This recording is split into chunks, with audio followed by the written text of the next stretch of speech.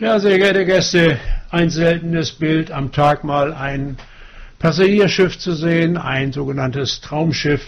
Hier sehen Sie jetzt die Europa 2.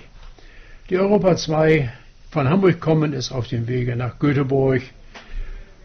Sie ist äh, 226 Meter lang, 30 Meter breit, hat einen Tiefgang von 6,40 Meter.